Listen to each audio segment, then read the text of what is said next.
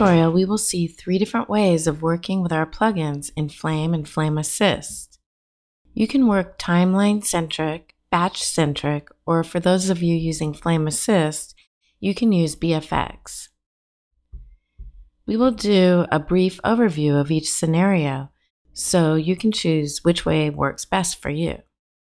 Applying an OFX plugin as a timeline effect goes like this. We select a segment or a clip in the timeline that you want to apply the effect to and call up the effects ribbon by selecting effects or control tab to display the effects menu. In the list, you choose open effects. In the toolbar, select load plugin to see the pull down menu. Here you can see all of the OFX plugins that are available. On the timeline, you will have our plugins that only require one input. The other plugins that require more than one input need to be used in either batch or BFX and not on the timeline. Also, if you need to cascade effects, you will want to also use batch or BFX. So for this timeline example, we will use denoise. We can apply denoise and just use the default settings for now. You can watch any of the denoise tutorials for more information on how to use this plugin. You can also check the documentation, which is always provided upon installation. Once you're done adjusting the plugin, you can exit the editor to review or render the timeline effect on the segment. That's how the timeline functionality works, but you have equal flexibility in the batch node compositing. We can switch to batch and see the batch node bin. Here, you also see the open effects node and drag it to the batch schematic. If you double click on the OpenEffects node, you will see the Load plugin controls.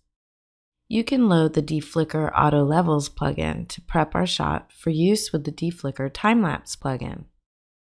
The first thing I do when I have new time-lapse footage is run it through DeFlicker Auto Levels, so we will add this to our time-lapse clip. We can analyze the footage by selecting Start Analysis. You might want to use this plugin not only to stabilize color levels over time, but to help you locate good frames for DeFlicker time-lapse, or just to visualize what is happening. Analysis stores eight values at each frame that can be referenced for recovering significant global color changes. Notice that upon starting the analysis, keyframing for the parameters becomes enabled, and a new value is keyed at every frame. To really see what's going on, switch timeline to graph mode by swiping right to bring up the graph. You can use the Frame All option to see the complete view of the graph. In this view, we can see if there's any spikes in the graph. In this case, you can see that we have some small fluctuations. Usually, we want to reference by setting Smooth Reference Channel. It defaults to DevG it also defaults to five frames on each side of the current frame. For the adjust mode, I can use analysis to set levels, which will smooth all curves and apply the variation to all color channels.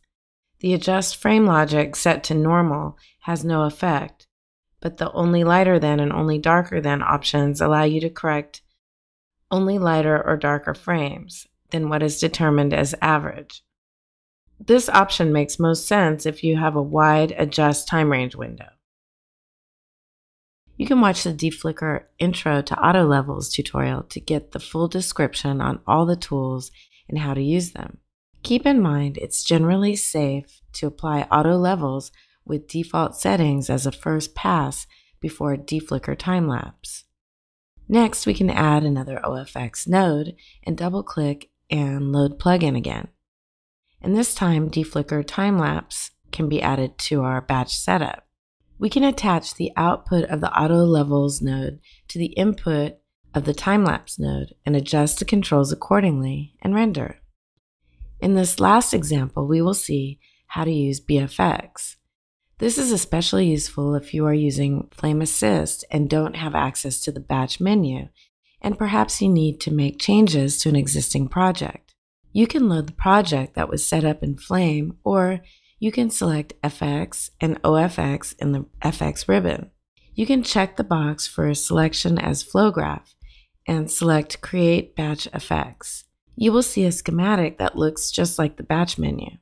You can double click on the OpenEffects node, select Load Plugin, Revision Effects, and choose Rematch Color Basic for this example.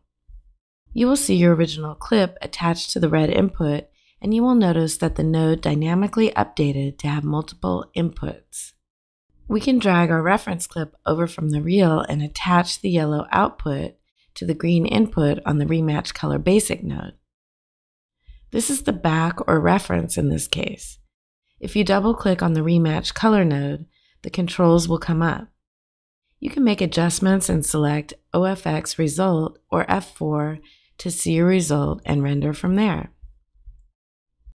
So this was a basic overview on how to use our plugins in Flame and Flame Assist on the Mac.